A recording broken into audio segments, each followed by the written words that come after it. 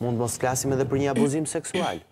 Nuk di të them, nuk do të futesha në këto detaje, sepse edhe policia nuk e ka një indicie të tillë, qoftë ndaj babait ndaj vajzës, po qoftë edhe ndaj vëllezërit me motrën. Megjithatë më mbetet një detaj që i rëndësishëm është edhe nëna e shtëpisë.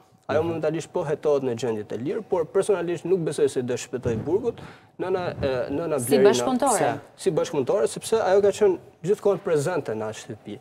Qoftë se Amarildo është në burg, nëna ka të njëjtën akuzë me Amarildon. Ajo ka thënë që nuk ka qenë, të paktën sipas dëshmisë së saj. Nuk ka qenë në momentin që ka ndodhur po. krimi, sepse kanë po. qenë vetëm Hyseni dhe Hygerta, mhm. të cilët aty ndahet autorësia se kush i ka marrë jetën babait, por në momentin që ka ndodhur krimi, ajo ka shkuar në shtëpi, e ka parë kufomën, ka qenë pjesëmarrëse në fshehjen e kufomës dhe Mendimi im personal është se ka qenë mendja djallëzore e, e kësaj historie, por policia po heton në gjendje të lirë. Personalisht mendoj që... Është ka krijuar planin, thua një farë mënyre? Mendoj që po, mendoj që po, policia po heton dhe mendoj që do përfundojë pas hekurave. Mhm. Në vijim janë këto hetime. Dhe një detaj tjetër në lidhje me këtë histori. Historiku familjar, a ka patur ndonjë krim tjetër?